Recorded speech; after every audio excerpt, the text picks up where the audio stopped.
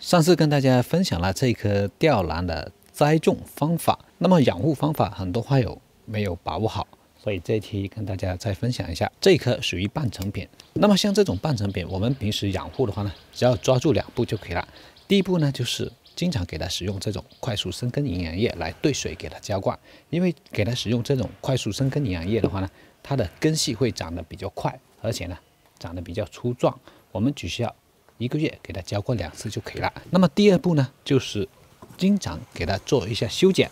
修剪的话呢，主要是修剪底下的这些老叶片，不要给它长得过多。因为吊兰它长叶片的数量是比较多的，而且是比较快的。同时，吊兰成熟之后容易长这种花芽出来。那么像这种花芽呢，我们也要给它剪掉，因为花芽它消耗大量的营养，所以不要给它开花。这样的话呢，它。成型才快，等到它这个根系长满了整个奶茶杯之后，我们直接把这个奶茶杯剪掉就可以了，然后再重新换上一个自己喜欢的花盆，把它种出这种状态来，就可以成型。好了，这期就跟大家分享到这里，我们下期再见。